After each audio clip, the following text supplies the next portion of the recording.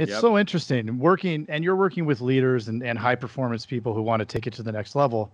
Um, but, but a lot of times, what comes along with that is the ego, right? There's a big ego. Not and sometimes, so, all the time. all the-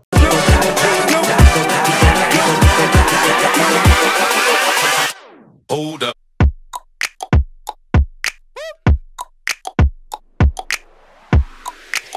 so so how do you take that big ego, shrink it down, and and help them get past it? I would suspect that there's a lot of friction in this process.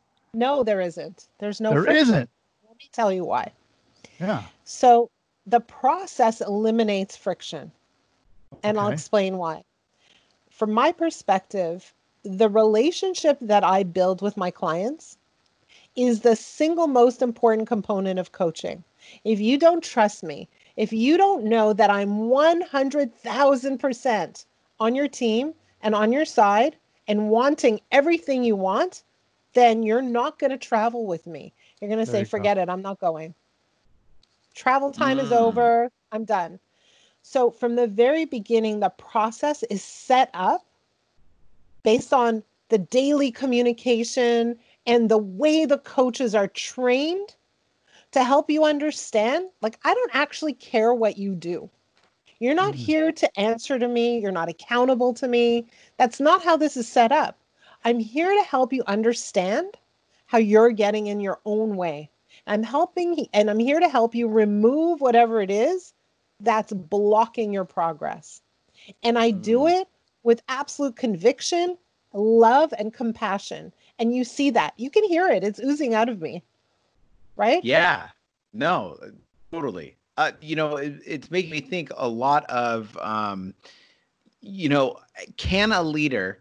So we have a lot of uh, insurance agents that follow us that have agencies, and we're all leading our teams, right? It, essentially, we're all selling our teams on selling, right? How can a leader sell them their team on selling if they don't feel it? Like well, how would you what, what what advice would you give? So again, you know, it's very interesting because we coach leaders and we also train leaders to coach their team. So awesome. step 1 is helping leaders understand how their thinking is interfering with their performance and how their thinking is interfering with their team's performance. Mm. Okay?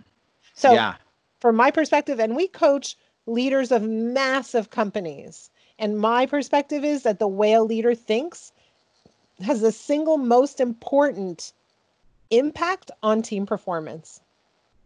Crazy. So when we show him or her how their thinking impacts and has a trickle down effect, and we show them how their thinking and their behavior and their approach sometimes doesn't line up with the things that they really truly want, they're like, whoa, I never know- knew that. I never saw that. Hmm. Once we get them sort of aligned, then we say, let's teach you not only how your behavior is affecting others, but let's teach you how your team is thinking and let's teach you how to coach them so that their thinking is aligned with their goals and the goals of the organization.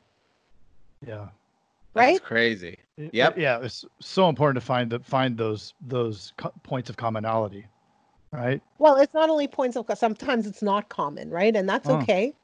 But yeah. once the leader understands the mechanics, understands how important the role of thought and belief plays in performance, and they take responsibility for own their own thoughts and, and behaviors, then they're in a position to learn how to coach others. And the moment they learn how to coach others is the moment their leadership skills dramatically increase. So let me tell you something really interesting. I train all over the world, and I usually work with uh, entrepreneurs who own sizable businesses. And so every time I train, before I train, I send out, let's call it a survey. So I've been collecting data for years and years and years. I have hundreds and hundreds of data points. And I ask a bunch of questions, but there are two questions that are super important. I hmm. ask, how equipped do you feel as a coach? In other words, evaluate your own coaching skills. On a scale of one to 10, how good are you as a coach? The mm. next question I ask is how satisfied are you with the performance of your team? Mm. And it's it's like you ever see a chart where it's just like a straight line that goes up? yeah. That's exactly what it is. The more a leader feels equipped as a coach, the more satisfied they are with the performance of their team. It's like a direct relationship, one to one. Right. That's interesting.